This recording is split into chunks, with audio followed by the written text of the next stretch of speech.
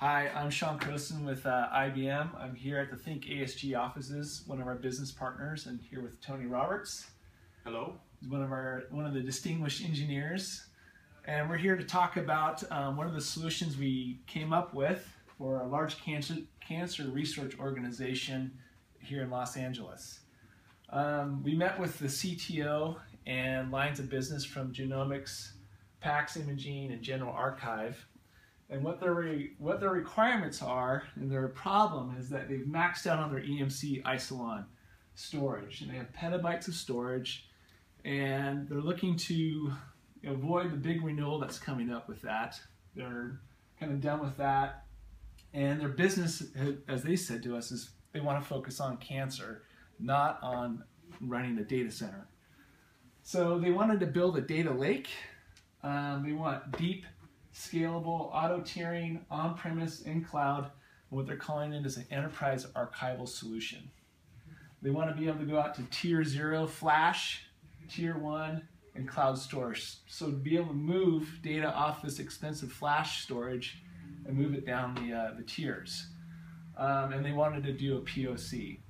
So um, I'm going to turn it over to Tony. He's going to go through the actual solution that we came up with. Oh, and by the way, we met up with the folks at Interconnect because when they asked if we could do this, we said, yeah, we, we think so. We didn't know the solution exactly actually existed, so I was at Interconnect the following week and I met up with the folks from uh, Spectrum Scale Development um, and with uh, Cleversafe, and they have this thing called transparent cloud tiering. New to me, probably new to some of you folks, but I'm going to turn it over to Tony to go over the solution. Thank you. So what we did was this customer has been a customer of thinkASG for quite a while, so we have a very good understanding of their infrastructure and some of the challenges and stuff that they've had. And so one of the things in working with IBM was how do we put all the pieces together to be able to prove this out in a PLC, but then to also turn that into a enterprise architecture that's going to fit within uh, their requirements. And so what we did was we took, we, we met with each one of the user groups, the genomics, the PACS users, and some of the just the general archive folks that have those requirements, and really listened to what their, their problems were, what they were looking for out of the solution. And so what we did is we came up with um, a way to, to, to prove that out in the POC. Basically, they're, they're interacting with their current environment through this uh, SMB and NFS protocols. So what we do is we have a system that is offering up those protocols through the spectrum scale. We have a flash tier in here, so the, the when, when the users are accessing the files locally, it's very fast, very responsive. And as those files become less and less um, active, they, we will then automatically move those off to another tier of storage. In this case, it'll be some spinning disks that are you know 10,000 uh, RPM type disk.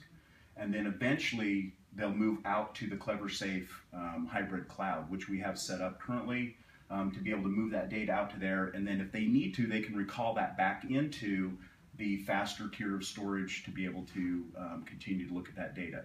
The, you know, the requirements are different between genomics and PACS and general archive, but the beauty of the solution is, is that we're able to solve some real business problems that span across some of their uh, several of their user groups with one solution. So it's not a siloed approach. It's it, it, it's an approach now that, that's going to give them a lot of business value in growing out that infrastructure. Um, so what we did is we we have a small system in there that has all this capability and functionality that we've already installed, and we are actually right now just getting ready to start doing the testing testing with the genomics and the PACS and the general archive users to be able to um, let them go through the testing and make sure that it works and functions according to their expectation. And you did some of this on site first, right? You guys used some of your equipment that you had here. Correct. Yeah. So we were able to, uh, you know, one of the challenges was, like I said, putting all the pieces together. And so we had a lot of those pieces here in our uh, integration center that we were able to um, pull together and take out to sit, take out to the customer and do the actual install and setup and that's that's where we're at today. And like I said, we're right on the the next step is we're, we're going to start doing testing uh, with the users and the data. Great. Thanks.